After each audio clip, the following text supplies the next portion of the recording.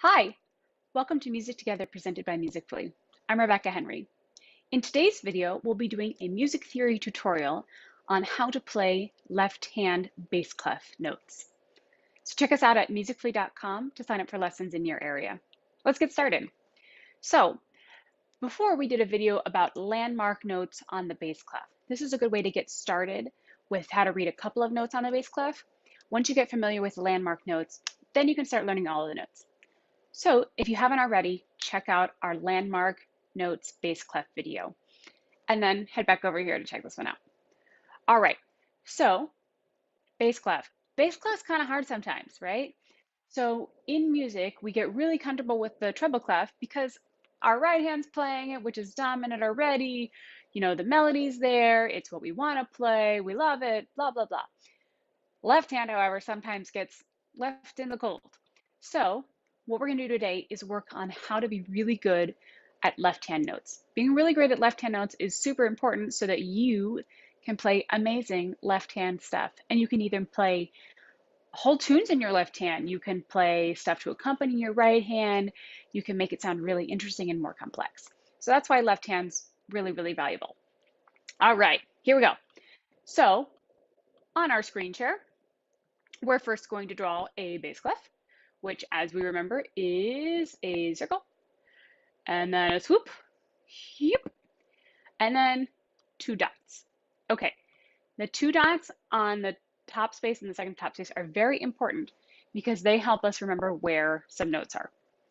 Okay, just as a quick review, our landmark notes are F, F because it's called the F clef and it's in between the two dots. Our middle C, and think C for cat, meow, kitty, meow, doo -doo. And then we have bass C, which is on the second space, space one, space two. So think space two is bass C. Okay, those are our landmark notes. But now we're gonna remember a new way to, to learn them. This is really helpful and useful, but if you're like, I wanna think of it a different way, here's another way to think about it. Mnemonics. Mnemonics is a fancy way to do a sentence to help us remember a fun way to remember the notes. So we're first gonna do lines on the bass clef. So I have a funny one. I always say, good burritos don't fall apart. So that's gonna be lines in the bass clef. So let's apply that for a little bit. So let's do some good old line reading and then we'll go back to the, the spaces. All right, so I'm gonna write a note and then you have to figure it out.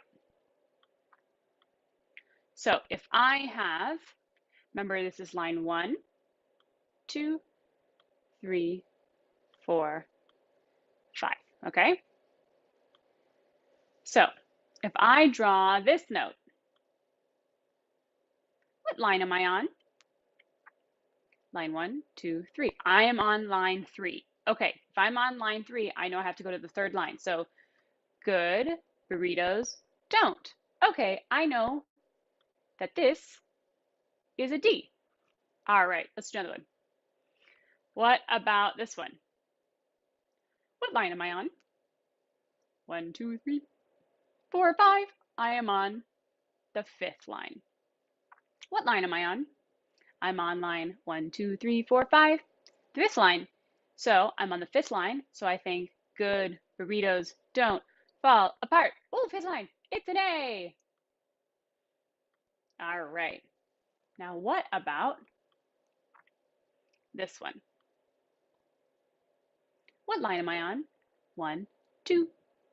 Good burritos. Ooh, it's a bee. Yeah, good job. All right. I'm going to make it a little bit more challenging. Before I erase everything, you tell me, say that mnemonic one more time, the sentence. Okay, so we got good burritos don't fall apart. Can you say it one more time? Good burritos don't fall apart. Okay, there are plenty of other sentences that other teachers use. So if your teacher uses another one, totally cool, no problem. Sometimes people do uh, good boys do fine always. There's tons of them out there. I just like good burritos don't fall apart because I like a good burrito. So let's erase this. Now, oops, too many lines. Now comes the hard part. You ready? I'm going to draw a note and you have to figure out what it is.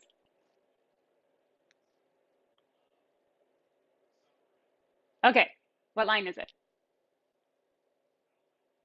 One, two, three, four, five. Line five. And what was the, the sentence? Good. Burritos don't fall apart. It is therefore an A. You got it. Okay, let's do another one. Ooh, tricky. Line, it's line one, two, three.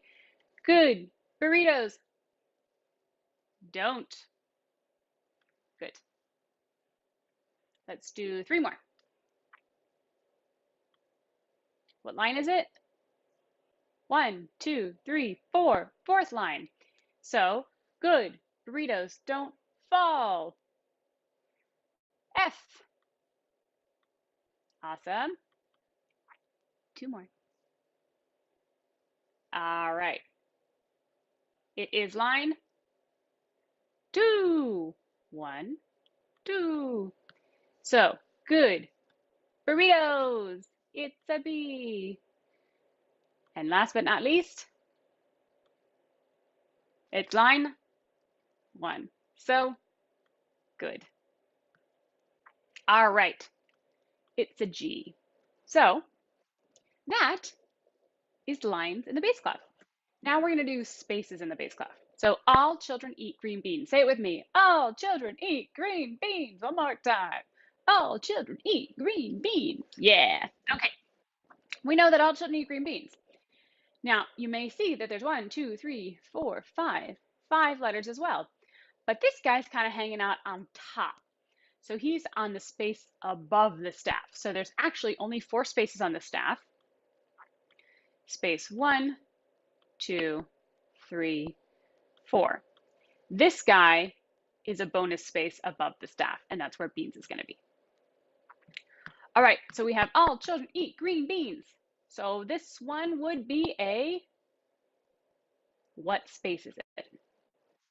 Space one, two, three. It's the third space.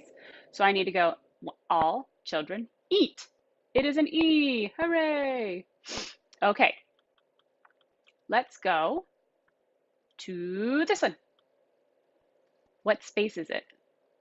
One, two, three, four. Dun, dun, dun, dun. Space four. So all children eat green. So you got a G. All right? Very nice. Now, let's do one more thing. We're gonna do, let's do this one up here. It's gonna be a hard one. Okay, remember it's space one, two, three, four, bonus.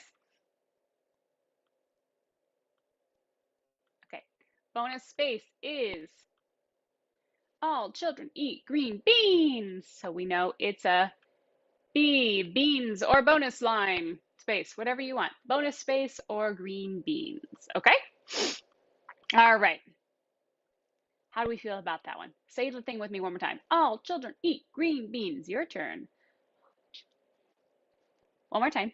All children eat green beans. Good. Okay. Now, just like lines, I'm going to take it away. Goodbye. Goodbye. Goodbye. Goodbye. All right. Can you remember? Can you remember? Eh? Eh? I bet you can. Okay. So, what is this one? It's space two. It's space two. So, all children. So it's a C. What about this one? It's space four. So all children eat green beans. Good job. Okay, we got a couple more to do. What's this one? Remember, it's space, bonus space. And all children eat green beans and B for bonus. So it's a B. All right.